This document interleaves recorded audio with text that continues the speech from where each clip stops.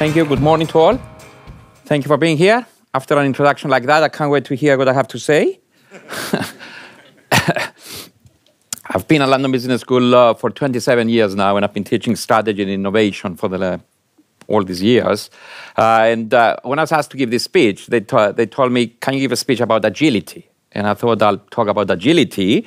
But then they told me, But you cannot just have agility on your, uh, on your, on your slide because it's uh, like old fashioned stuff. So how about continuous transformation? Okay, continuous transformation. That's what I'm like here to talk to you about. So let me start out by saying that uh, you know we've had the digital revolution of the last 20 years.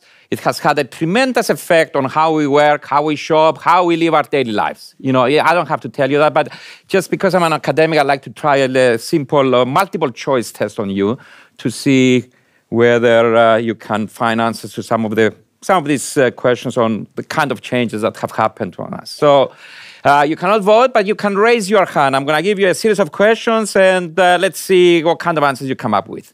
First question is the following: According to this professor at UCLA, uh, he's looked at uh, the effect of the internet on the human brain. What he's found is that um, exposure to the internet physically rewires the neural networks in the brain and changes the human brain.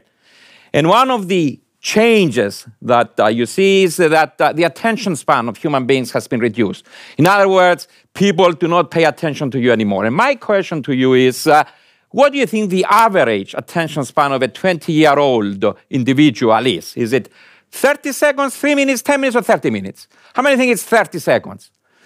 Ah, you have teenagers at home, don't you? How many have, uh, say, 3 minutes? 10 minutes? 30 minutes? The answer is 30 seconds, actually, which basically means I lost you about two minutes ago. 30 seconds. And this is, this is your employer, and this is your customer. I'll, I'll let you think what the challenge is uh, based on that. Question number two. The US Department of Labor estimated that today's 18 year old graduating from high school will have how many jobs? Or they expect to have how many jobs before they turn 40? Think about that. We're talking about for the next 20 years. How many jobs would they expect to have? How many think three to five? How many think five to eight? Eight to 10? 10 to 14? The answer is 10 to 14. 14 different jobs in the next 20 years? Again, think of the implication, huh? The challenge is not how do I attract the best talent anymore. The challenge is how do you retain and keep them energized so that they don't just uh, change jobs or go somewhere else. According to a survey of European consumers, 97% of them cannot imagine life without what? If I ask you, what, if you, tell me the one thing you cannot imagine life without, what would you say? Probably your kids, your partner, maybe. I don't know. How many think they said their, their partner and family? Nobody? really? How many said the internet? How many said the mobile phone? How many the car? Mobile phone. 97% cannot imagine life without their mobile phone. You know what the number was for their partner and family? 45%. 45% of this is the number for can imagine life without my wife or husband. Fourth question, it's estimated that 53% of people in the UK suffer from nomophobia. Question is, what is nomophobia? Is it the fear of being alone? Anybody votes for that? Yeah? How about the fear of being out of phone range? Come on. The fear of having no friends? The fear of losing their job? And you know what the answer is? Fear of being out of phone range. Can you imagine? We now have a disease associated with it. Nomophobia. In a survey of US consumers, 30% of adults said they use email to communicate. What percent of young people said the same? Zero. How many think zero? How many say two? How many 10%? How many 20%? The answer was 2%. Two, what do they use, these kids? What do they use to communicate? WhatsApp, Snapchat, yeah? yeah I was talking to my 18 year old nephew, he's at university in London, and talking about things, and he said, "Oh, my dad is very upset with me." I said, "Why is he upset?" Because I, I don't answer his emails. I said, "Why don't you answer his emails?" He said, "Well, I, I only look at them every month." every month. We think, we think it's a mode of communication. You know, if you, if you still use email, you're probably my age. Last question. Before deciding what to buy, which website do consumers visit the most to do research on their intended purchase? How many think Google? And how many think Amazon? How many think Yahoo? How many think Go Compare? You don't even know what Go Compare is, do you? It's actually Amazon. Do you know why? Why do they go to Amazon rather than uh, Google?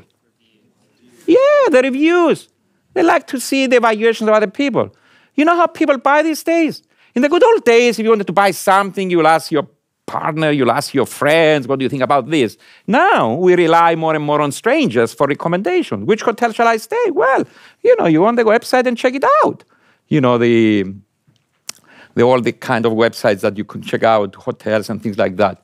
You, you rely on, on strangers or people we don't know for our purchasing decisions anymore. So, exciting stuff there, lots of changes, lots of changes, but you get my point, don't you?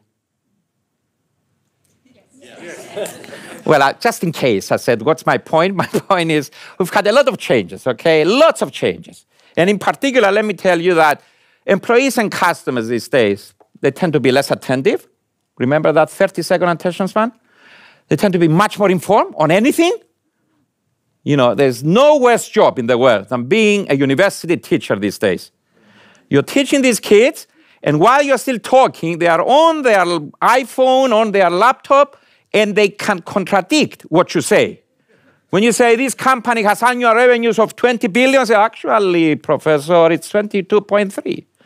They are much more informed, less loyal, change jobs like that, much more connected, much less patient. They're not going to sit around, more demanding, more vocal. If a customer doesn't get the service or quality they expect, what do they do these days? What do they do? In the good old days, maybe if you were really upset with a company and so on, you will call, send a letter. What do people do these days? They make a video, yes, and they go on YouTube.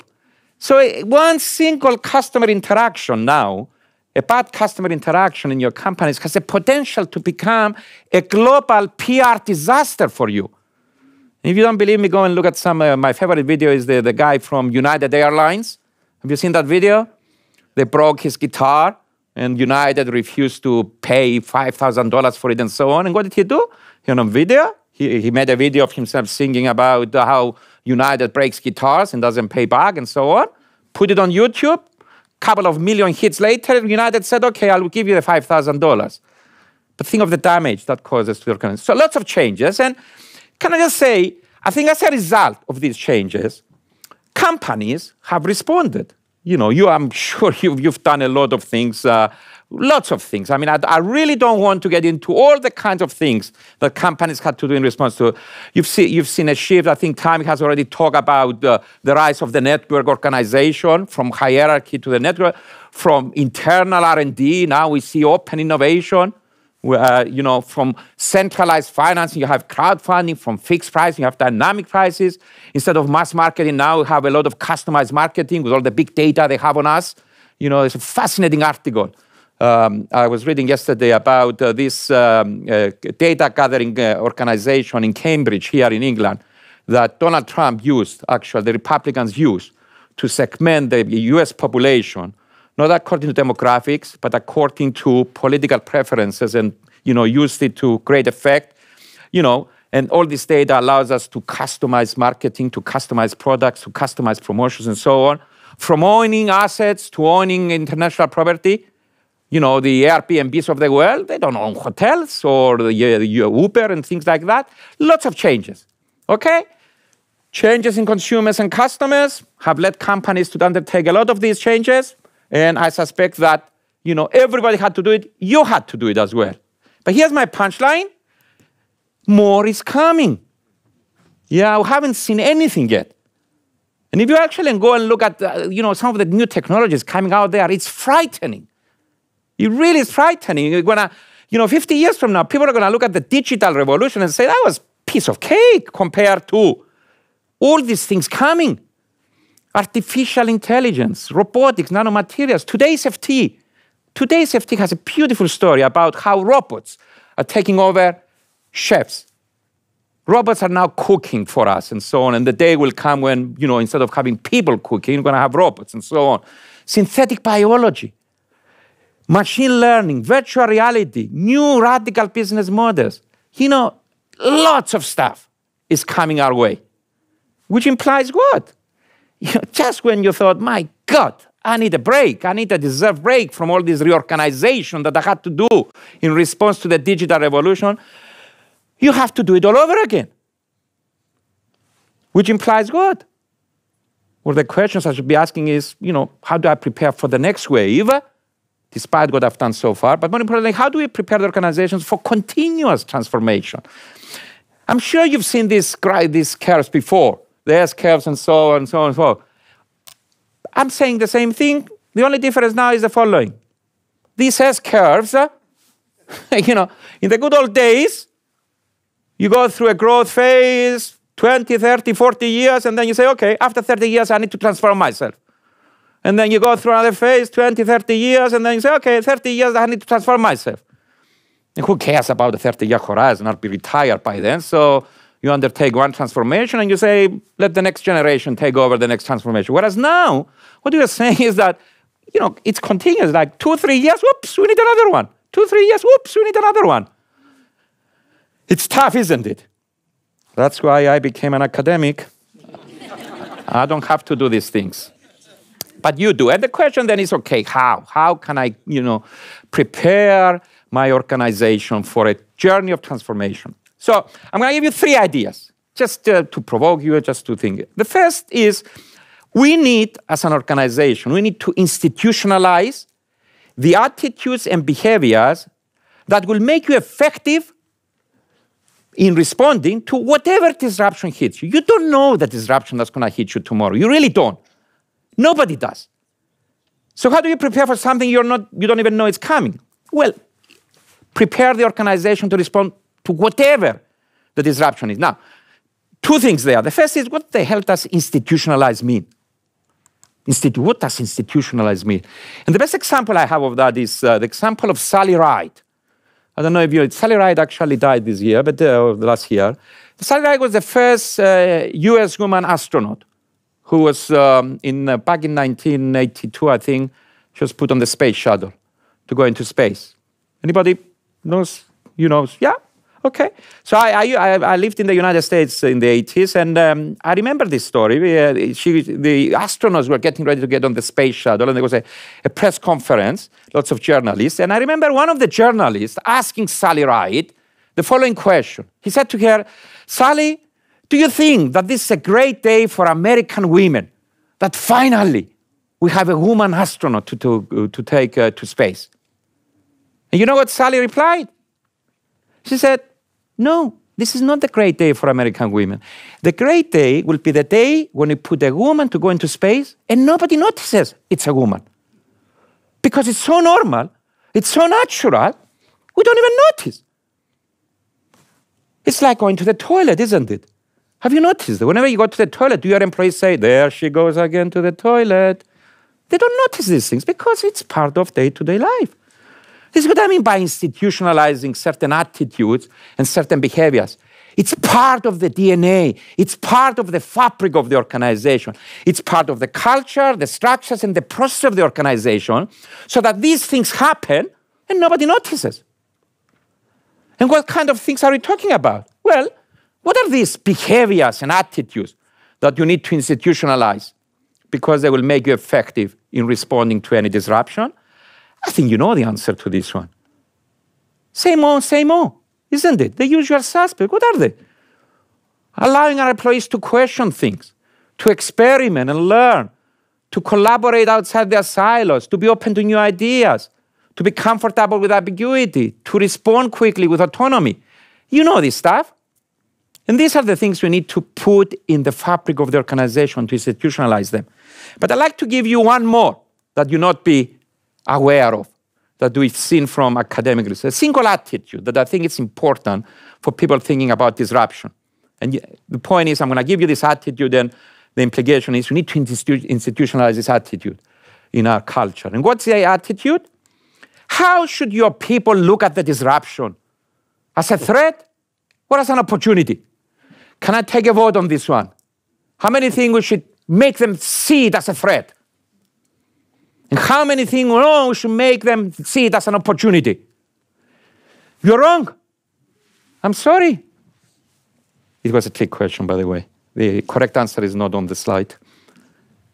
There's an academic study done in the United States. a PhD student at uh, Harvard Business School, his name is Clark Gilbert. Back in 2001, he went and looked at how the newspaper companies responded to the internet. He was trying to understand why is it that some of them were successful and some were unsuccessful in making the transition to digital. Three years of his life he spent testing hypothesis after hypothesis. You know, because in academia you have lots of ideas. Oh, you should do this, you should do that. If you want to digitally transform yourself, this is the way to do it. He tested everything.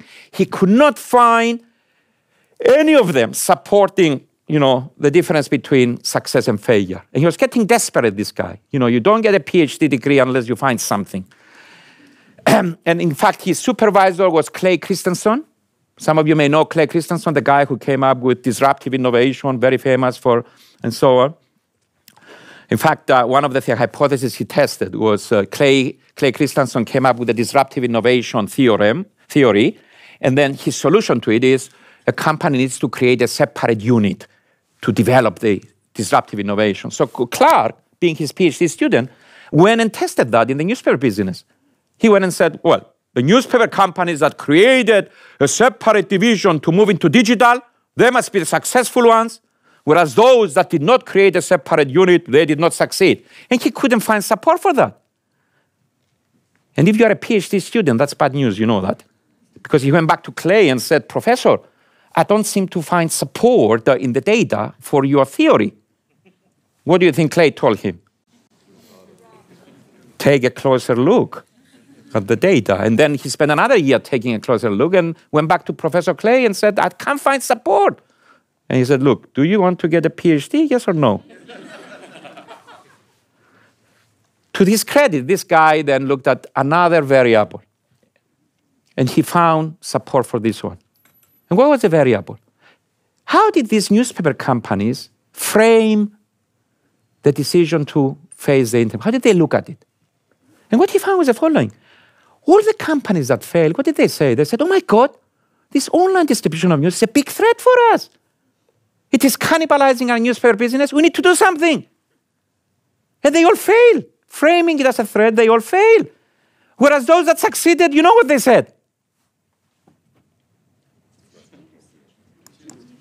Contrary to what most people expect, the companies that succeeded in their response did not view it, the internet as an opportunity.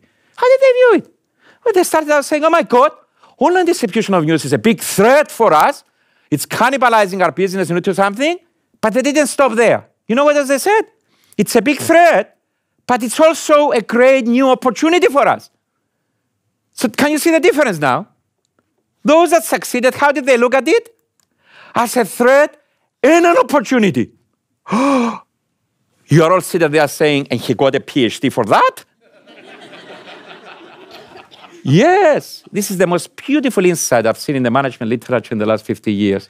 Why is it beautiful?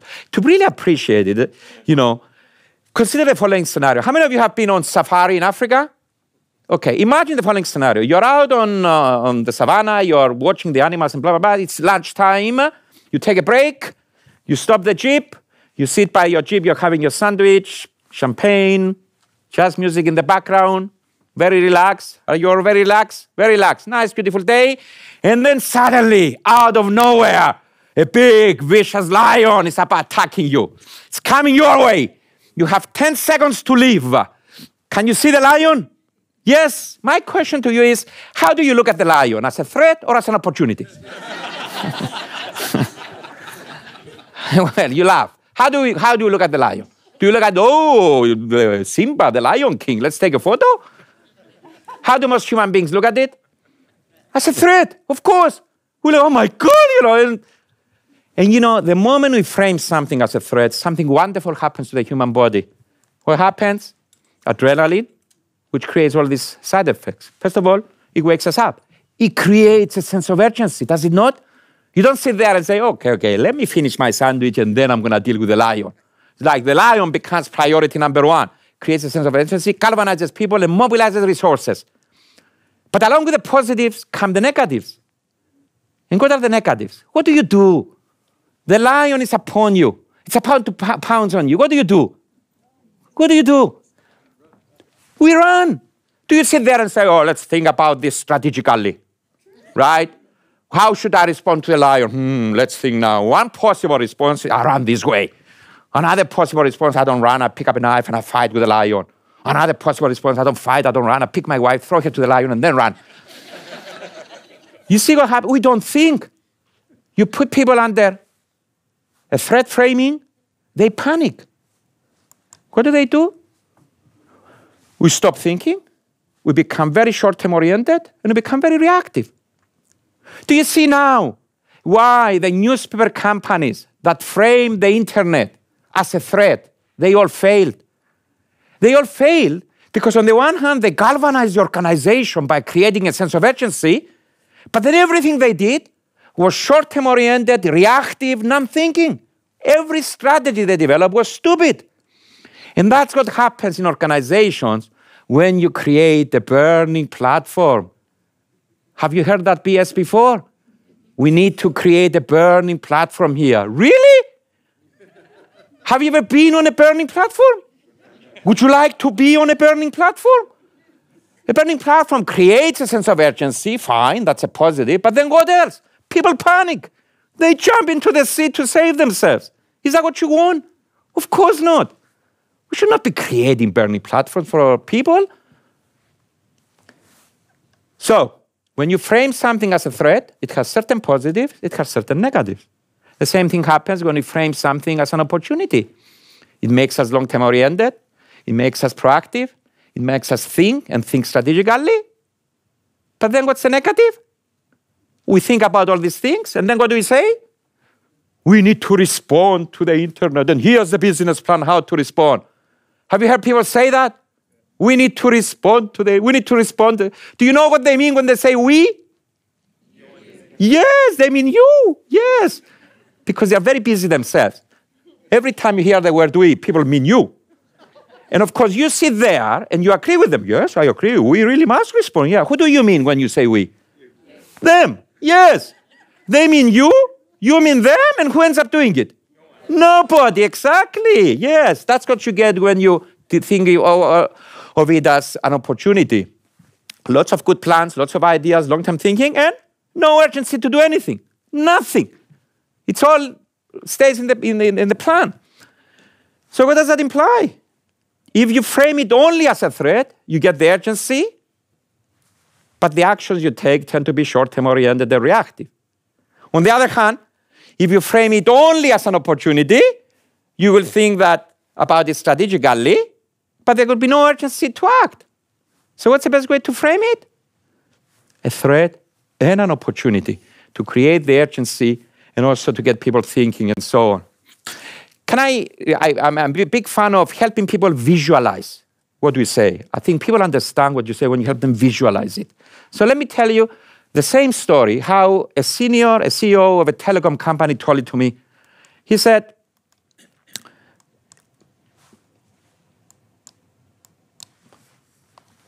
Why is it, he said, that all the new markets in the telecom industry over the last 20 years have been created not by the established firms, but by new startup firms? Why is that? He said, Why? I'm a big telecom company. I have the resources, I have the marketing, I have the government on my side, I have the technology. I should be creating markets. Why? Why not me? Why is it the startup firm that created the new markets? And then he drew this for me. He said, Look at that. The big circle is me, the big company with all the markets the, and the customers. And suddenly the new thing comes along. Now, notice one thing. When the new thing comes along, it is small relative to my business. So it's natural to ignore it or underestimate it. But more importantly, you know what the, the killer is? When the new thing arrives, it's of little interest to my customers. Can you see that? When the new thing arrives, it kind of attracts a different customer from my core customer, which implies what? When I go to my customers and I say, hey guys, do you want me to offer you the new thing? You know what they say? No, my own customers lead me in the wrong direction. So I don't invest. I don't invest in the new thing. And then what happens? Well, what happens is that over time, the new thing improves itself. And as it improves, it attracts more customers, and then more, and then more. And notice what happened there?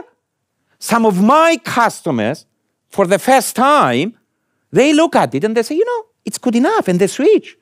Can you see that? A little bit of my customers switching. And I see that. I say, hmm, that's very interesting. I better keep an eye on this one, eh? And then more of them, and then more of them. And suddenly, I look at the thing and say, wait a minute. This new thing is cannibalizing my market. I need to do something. And what do I do? I focus all of my attention on what? On that cannibalization of my core market. And I'm trying to defend against it. And in defending against the cannibalization, what do I forget? I forget the huge new market that got created in the periphery of my market. You see, I focus all of my attention to defend against the threat to my core business and forget about exploiting the opportunity next to my core business. And then he asked me, This new thing, Costas, is it a threat or is it an opportunity? Can you see it now? It's both, isn't it? A threat and an opportunity. It's a threat to the core business, uh, which raises some interesting strategic issues, by the way, one of which I don't have time to talk about that, but think about it. If you have to defend and attack, that's basically what it says. I have to defend against the threat and attack. Can you do it with one strategy? Can the organization defend and attack with one strategy? And I'll, I'll put my neck on the line and say that 95% of the time you can't do it with one strategy, which implies what? Responding to disruption requires two strategies a strategy of defending and a strategy of attacking, but that's, that's another story. So, is the new thing a, a threat or an opportunity? And all I'm saying is that it's an attitude that we have to institutionalize and put it in the DNA of the organization. It's not a threat, it's not an opportunity, it's a threat and an opportunity. And, you know, along with that, don't forget all the other behaviors that I talked about, okay, that you need to institutionalize the outward looking, autonomy, experimenting, and so on. Second point that uh, I want to leave you with is the following the importance of the organizational environment in determining how agile you become. Let me give you an academic study done by this uh, guy in the United States, George Land. He developed a tool. It's a diagnostic tool that allows you to evaluate yourself or others how creative they are. You know, it measures how divergent your thinking is. Okay? So he will give you this test. It's a test. A test of 10 questions. And if you score 10 out of 10 on this test, you're labeled a genius in creativity, right?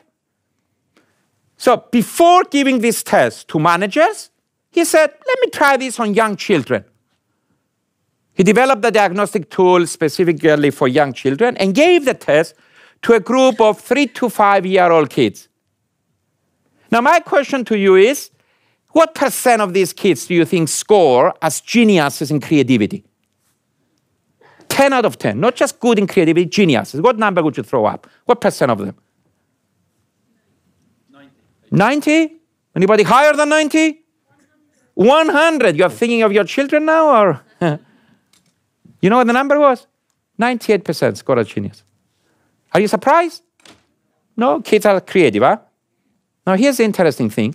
He followed these kids over time now, and five years later, they're now eight to 10 year olds. He gives them another test similar, adjusted for age. Think about it, please. It's the same children, he did not change the kids. The same sample of kids, they're just now five years uh, uh, older. How many of them score as genius and creativity? You think you went down? Really? You're thinking of yourselves now or your children? Yeah. How down? Give me a number. Be courageous now. Throw a number at me. 60%, that low, eh? Anybody else? 30? That bad? Who said 30? 30%, huh? Well done. 32%. 32%. What the hell happened? What happened? Yes, they went to school. Stop sending the kids to school. Unless it's London Business School. We don't do these things, you know. It's not just school, by the way. You'll in a moment. And then he said, oh, this is very interesting. Let's try this on teenagers. So he followed these kids again for another five years. They are now teenagers, huh? Same children, now teenagers, non-conforming, revolutionary. They never listen to mom and dad. What percent of them do you think score as geniuses in creativity? How many think it actually went up now because they're teenagers? Okay? And how many actually went down? How about the same? It actually went down to where? 10%. And then for fun, he said, Oh, let me try this on a group of adults. Adults being anybody over the age of 25. Huh? Anybody in this room over that age? Yeah? what percent of them do you think? One, that bad, eh? You're thinking of your company now. 2%. 2%. My God. It's a disaster, isn't it? And you look at these things and say, who are we going to blame? And everybody blames the educational system. They blame me. Guess what? I'm not to blame. I'm not to. You know why? You know, if you go back by the age of eight or ten, the majority of education that takes place takes place where? Home. Yes. Even by the age of 10, they became zombies, so don't blame me. You know, blame mom and dad. It's not just the educational system, you see. It's not just education. What is it? It's the education system, it's the home environment, it's a playground, it's society, it's the work environment, it's all these things. It's the underlying environment, however you define it. The underlying uh, environment has a big effect on how people behave. And what do I mean by environment? It's not just culture, you see. In an organization, the environment is made up of four primary things. Yes, culture and values are important, but so are the measurement and incentives we use. What gets measured gets done. That's part of the environment. The metrics that we use, short term versus long term, and so on, what do you evaluate? But also the structures and processes we put people in. There's also the kind of people you hire. This is the environment. And this is what creates behaviors in society and specifically here in organizations. Yeah. Why is this important? You know, before, my first point was think about the behaviors you need to institutionalize in your organization. And what are these behaviors? Experimenting, looking outside, cooperating, questioning.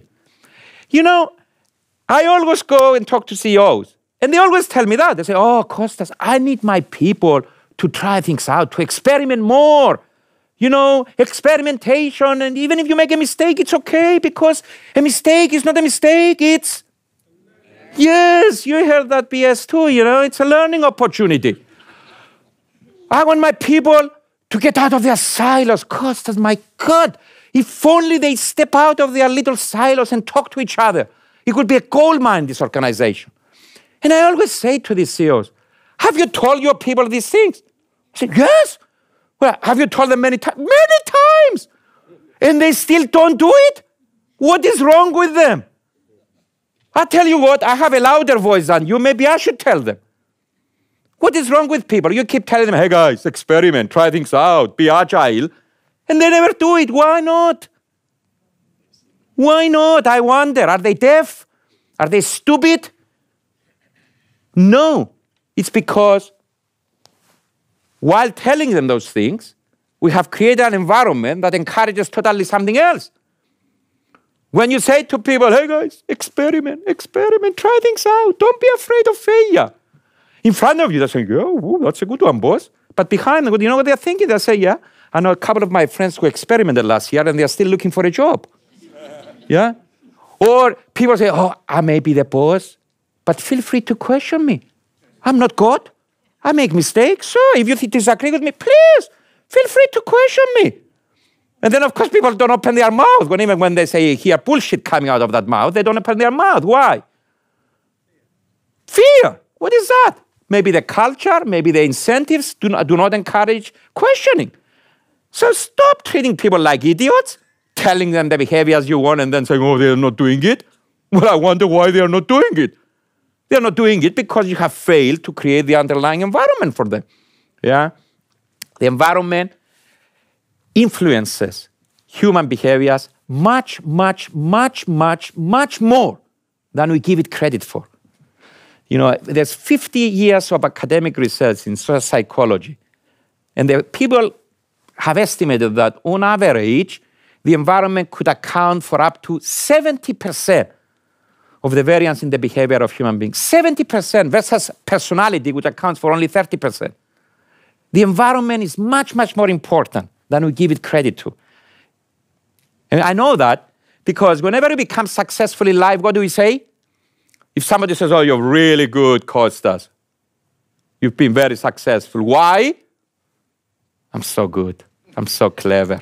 It's the hair. It's something. I don't know. It's always about us. It's not about you.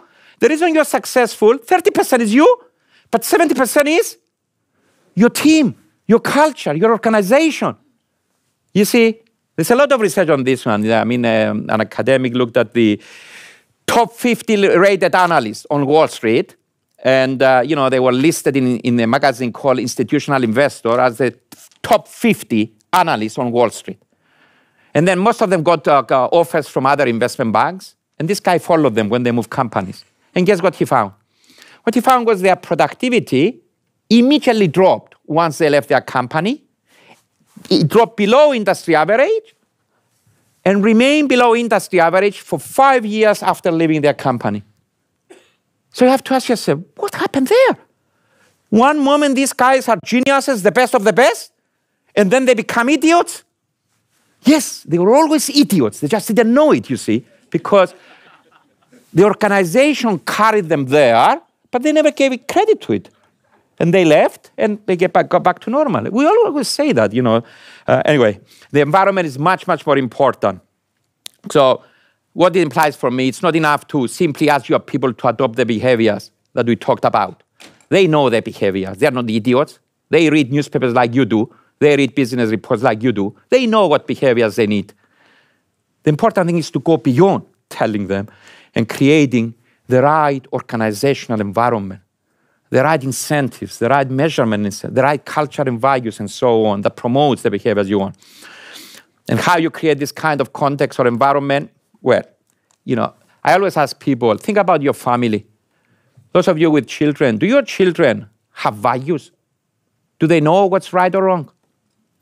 Yeah? Do you have a culture at home? Well, how did you create that culture at home? Did you send the kids on an educational program at London Business School? we could have one one week program on, you know, values and so on. No. How do we create cultures and values? Through our day-to-day behaviors. That's what kids do. They watch mommy and daddy, how we behave, what do we say, and so on. And based on that, they form beliefs. That's exactly how you create an environment in an organization. It's through our day-to-day behaviors. Imagine the power of all these senior people in an organization behaving in the ways that you want everybody else to behave. You want them to question things, you question things first. You want them not to conform, stop conforming first. You want them to get out of their silos, get out of your silos first. And so, you know that. Final thing I want to say creating a supporting environment is not enough. It's important, but not enough. Why do I say that? Another academic study done at the Harvard Medical School. This is my favorite, and uh, I always like to talk about this study because I, I, I, know from personal experience that it's true. What did they do, these guys? They, they examined patients that recently had a major heart operation. Yeah, major, major heart operation. And what, you know what the major finding of this study was? It was that 90% of these patients go back to the behaviors that got them in trouble to begin with within six months after the operation. Think about that for a moment, please. You go in, you're about to die, you have a major heart operation, you get out of it, and the doctor looks at you and says, Mr. Markides, all I'm saying is uh, if you want to live, when you go back home to Cyprus, stop smoking, stop eating that deadly cheese of yours called halloumi. Yeah, you know that. And live a healthy life. The doctor tells you these things. You go back. What do you do? You stop smoking, you stop doing the stupid things. And how long does that last? Six months. Isn't that unbelievable? I find that unbelievable, isn't it? Because it's a credible threat, isn't it? This is not, ah, you know, from a credible source. This is the doctor that just saved your life. It's not just a business school professor telling you these things. It's, you know, the guy who just saved my life is telling me to stop smoking. What does that tell you, by the way? That 90% revert to the behaviors that got them in trouble to begin with. What does it tell you? other than stu- people are stupid? Change is hard. Change is hard. It is hard to change human behaviors, even by a little bit. That's why I always laugh with New Year's resolutions. Have you taken any New Year's resolutions this year? You know why they always fail, these New Year's resolutions? Because they involve change of behaviors. A, a New Year's resolution is saying to yourself, I'm going to change this behavior. And we think, oh, yeah, I'm not going to be going to the pub every day from now on. You think that's easy? Well, think of it. The guy, the doctor told me to stop smoking or I'm going to die, and I don't even do that. And you think I'm going to give up the pub? No way. Change human behavior is hard. And scaring people, as you saw, even when the scare is credible, it's not enough to galvanize them into sustainable action. Yes, it creates the one time change, but it's not enough. It's depressing statistics, this one, isn't it? 90% of people, you know, you're thinking, oh my God, I thought I had a tough job going back to this organization, but it's uh, even tougher now. But I left something out of this study that should give you hope. Can you see what I left out? What did I not tell you about this study? Okay, it's about the heart problem. It's specific, but I, there's something about this. What is it? Yeah, you see, I was this was uh, testing my theory that your attention span is only 30 seconds. I'm trying to catch you there to see what did I not tell you? 90% go back to their old behaviors, but 10% change sustainably for the good. So it's possible to change human behaviors, isn't it? It's, it's difficult, but it is possible. And the question is, how did, it, how, why? What's the difference here? Why did this 10% change their behaviors and the other 90? Anybody has a hint? Why do you think? Were they younger? Maybe you say, oh, they're younger courses, so they have more to live for, so they are, the incentives there is to change. No. Were they wealthier? Is it because I'm wealthy and I can afford to change? No. You know what the difference was? The difference was how the doctor framed the need for change to them. What do I mean by that? The 90% that did that kind of went back to the old behaviors, you know what the doctor told them?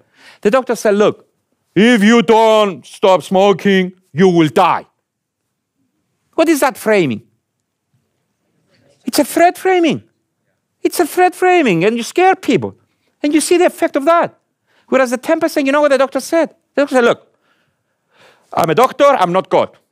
If you don't change these behaviors of yours, you're going to die. But I don't want you to think of it like that. I like you to think like this. When you go back home, do you want to spend the remaining years of your life being able to play with your grandchildren without pain? Would you like to be able to take long walks with your husband, your wife, into the forest, into the park, without having to carry an oxygen cylinder and a mask with you? Do you want to live the remaining years of your life in a high quality kind of way? Yes, then, then stop smoking. What is that framing, by the way? Well, there is a threat element there, which you don't need to really emphasize to these people because they know, yeah, yeah, I'm going to die. But the emphasis is on the opportunity. The, the other thing that it is, if you want to change, you need to make the need for change personal and emotional. Personal and emotional. You go and say, oh, we need to be agile, we need to be innovative. Why the hell should I be innovative? It may be good for you and your shareholders. Why should I, your employee, be agile or innovative or whatever? You want me to stop, you know, conforming? Why? What's in it for me? We need to make the need for change personal and emotional. And I, you know, you know the analogy from psychology: the rider and the elephant. The rider being the brain, you know, or the rational side of the human being that tells us what we should do, versus the elephant, the emotional part. If you don't win the elephant, you don't win anything. You cannot achieve any change. You have to win the elephant. You have to make the need. And again, you see, how do you make the need for change emotional and personal? And I always like one of these tactics, uh, storytelling is a very effective tactic, by the way, but the one tactic that I love is help people visualize the need for change. And let me give you an example of this.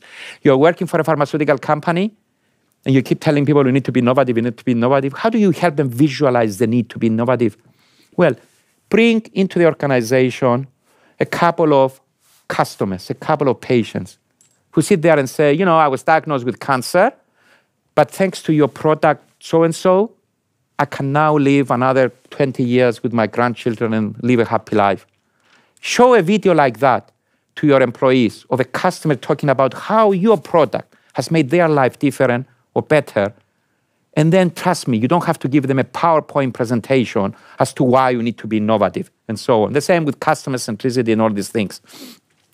Help them visualize why and use stories as well. Okay, so I said to you, I'm going to give you three basic ideas about this. One is the importance of institutionalizing uh, attitudes and behaviors that enhance our agility. Institutionalize it. Put it in your culture, put it in your processes, put it in your structures so that they happen without even you being around to notice them.